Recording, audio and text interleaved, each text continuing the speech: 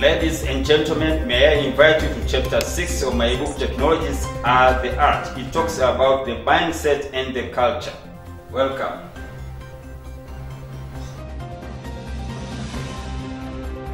Ladies and gentlemen, I would like to invite you again to continue with our book called Technologies are the Arts, which is translated in Kiswahili Teknolojia in Sanaa. We are now going to talk about a very important uh, topic in chapter 6, which talks about the mindset. Uh, the Bible says in the in the Proverbs chapter 23, verse 7b, that as he thinketh, so is he. You know, you cannot go beyond how you think. And according to my book, there are two uh, important things which can make a society develop technologically. Uh, the first is the social need. Then we have got the social resources and what we call technological etho, sympathetic, sympathetic, sympathetic technological etho. Social need is how a society thinks that they need a certain technology, and that can be can depend upon their mindset, but also they they may think that they need that thing through advertisement or extensive sensitization. So a need maybe may, maybe you need a crane to lift maybe your construction material, or it may be mobile phones, or it can be anything. If the society thinks that they need that technology, then they have what we call social need. Then we've got social resources. Social resources is are the resources which are available to, to develop a technology. You may need financing, you may need materials, you may need machines, you may need uh, human resources. Those are social needs. Then there is what we call sympathetic sociological ethos. Sympathetic sociological ethos, ethos is the readiness of the society to bear the cost of technological development. For example, they say that uh, when there was the first industrial revolution in Britain, that industrial revolution, revolution was sponsored by, I mean, the middle class uh, or middle income people like doctors, engineers, lawyers, etc., who were ready to, to dig into their pockets and finance that technological development. Uh, because you know technological development is expensive and it, it have to be finan financed. But if you, you have the middle income people ready to finance technological development, then you, you are going to have technological development. But you can see, for example, in Tanzania, people are not ready to, I mean, to finance technological development. I was talking to, with my friend who is an, an engineer. He told me that there was a wedding, wedding somewhere, and uh, they contributed about 80 million Tanzanian shillings. It's about 36,000 US dollars. Only five people financed that wedding. But if you tell them that my son have discovered something, they want to construct a, a factory, please give me that 80 million, they will not be ready to finance. And that means that we are not ready to develop technologically. Because if we want to develop technologically, we need the society to be able to bear the cost for technological development. Of course, there are other issues of mindset. For example, there is issue of quality mindset.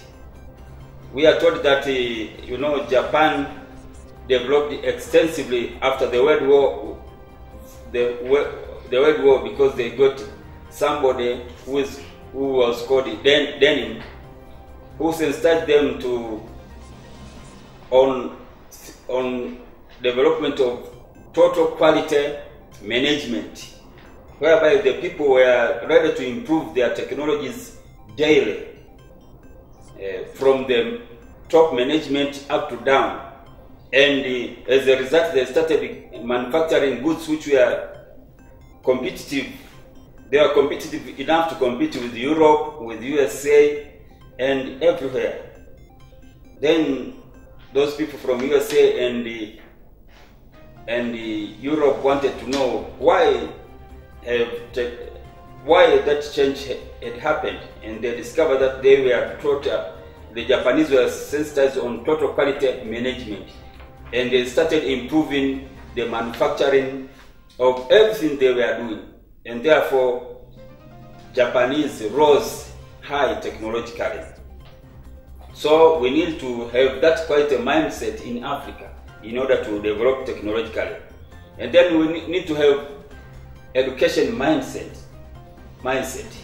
You know, when Africa, many countries in Africa got independence, very few people were educated. But now we have got extensive education system. But you can see that the education system we are having is not making people to be competent, to be able to do things rather than to, to do a lot of narrations, rather than having a lot of certificates while people cannot do, do things properly.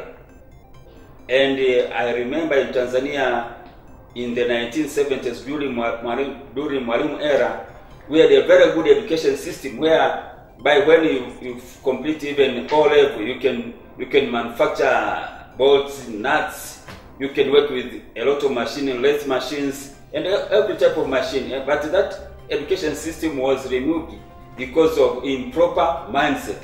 You know, many of our lecturers and professors think that if you can do a lot of calculations, then you have technology. But let me tell you that uh, I mean, cars are not manufactured by very difficult equations or by from the laboratory, but they can be manufactured ma- manufactured in workshop. Therefore, we need to invest in technical education and competence-based education. That is how we can develop technologically. Then we have um, uh, good governance. Good governance. You know, good governance can contribute greatly to technolo- technological development. When we, we reduce uh, red tape, you know, embez- embezzlement, bureaucracy, and something like that, then then we have a right mindset for technological development. So we need to do away with corruption and bureaucracy for Africa to develop technologically. Then we need to have uh, mindset on competence.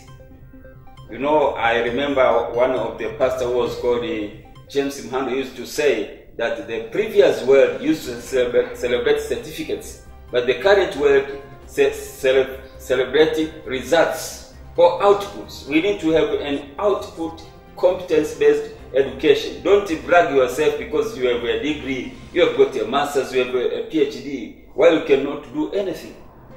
We need people who can do things because science is about knowing, but technology about doing. Therefore, we need to develop um, to improve our educational system. Then we need to have a, an in, investing mindset. We, we need to be ready to invest in technologies and to invest in companies because you know technological devel- development is related to, I mean, I mean, the way we do businesses. If we cannot develop companies, then we cannot develop technology. There is a relation between businesses and technology. It is written uh, in chapter 6. Then we need to have a daring and self-confident mindset. You know, you, we may be studying in the same universities, but you, if you have an Indian and, the, and a normal Tanzanian, who all, all of us who have been here, if you take them to the university, the Indian is thinking about how he's going to start his company, how he's going to develop his company. But uh, an African Tanzanian is thinking about how he's going to be employed. So we have different mindset, and therefore, from that it is you may find that uh, even Indians who have been born here, their grandparents have been born here, they are they are developing industries, but while lo- locals are just starting to be employed. So we need to change our mindset and we should be able to dare. I was talking to a, a certain missionary called Morris Thompson from UK, and he said that an African is defeated before starting. We need to be daring to be able to start a technological, technologically based industry. I was talking to my friend Indian who had started a plastic industry in Tanzania and he was making buckets and other equipment. And I asked him, How did you start? Because he's not, he said, just try and error Bwana Ngowi.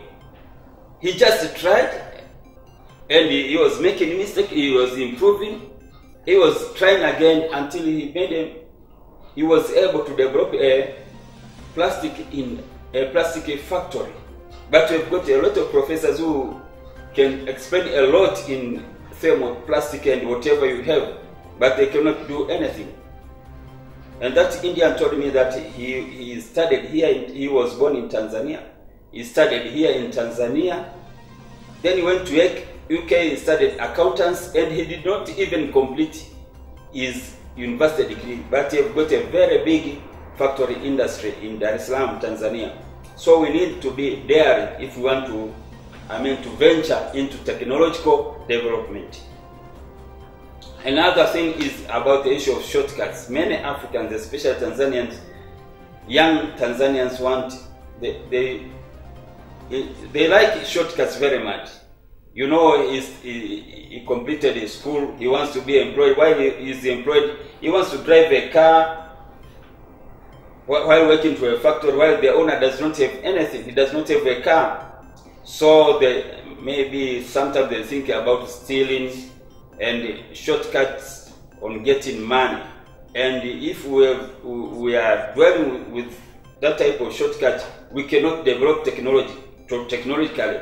We cannot develop our own industries if we are, I mean, so we, we really want to, to, to, to, to gain with, with shortcuts, but we need to be ready to work and work seriously, develop our businesses, and even if we, have, we fail, we can ask ourselves, why we failed, we improve our businesses, and we continue to improve and improve until we develop our enterprises and we develop, develop technologies. Thank you for listening to me on chapter 6 of the book Technologies Are the Art. Ladies and gentlemen, thank you very much for watching chapter 6. Please don't miss chapter 7.